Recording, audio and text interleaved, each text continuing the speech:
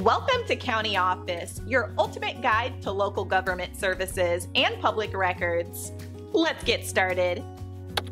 How can I get full custody of my child in Texas? In Texas, child custody is determined based on the best interest of the child standard. This means that the court prioritizes the well being and development of the child when deciding custody arrangements. Types of custody arrangements There are two main types of custody arrangements in Texas sole managing conservatorship, full custody, and joint managing conservatorship, joint custody.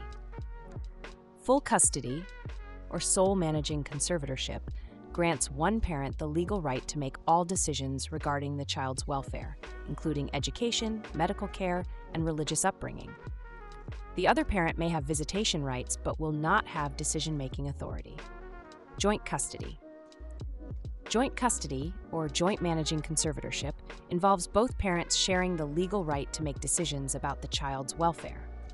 This can include joint physical custody, where the child lives with both parents, and joint legal custody, where both parents have decision making authority. However, joint custody does not necessarily mean the child's time is split evenly between both parents. When is full custody awarded? Full custody is typically awarded when one parent is deemed unfit to have any legal or physical custody of the child.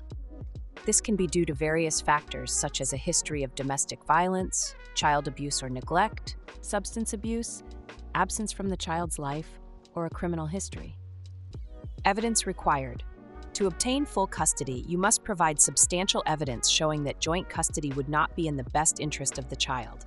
This evidence can include medical records, school records, eyewitness testimony, police reports, and documentation of any concerning behavior by the other parent. Parental involvement. Being an involved parent is crucial. You should maintain your parental responsibilities and be as active in your child's life as possible. Consistent engagement and a genuine interest in your child's daily life can strengthen your case for full custody. Legal process. To apply for full custody, you must file a legal petition known as a suit affecting the parent child relationship, SAPCR, with the court. The court will examine your evidence and multiple other factors to determine if your arguments are valid. Role of an attorney. Navigating the Texas family court system can be complex, so it is highly advisable to work with an experienced child custody lawyer. An attorney can help you build a strong case, identify potential weaknesses, and develop a strategy to address them effectively.